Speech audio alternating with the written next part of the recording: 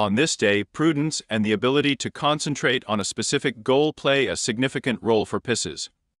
You can successfully realize yourself in commercial activities. Good luck will accompany you in matters related to finances and new acquisitions in one way or another. In the professional field, it is best for Pisces to stick to the old proven methods, avoiding innovation and unnecessary risk. It is possible that today you will receive a business offer from a reliable partner. Subscribe to the channel. Get the forecast every day. Join us on Telegram, link in description.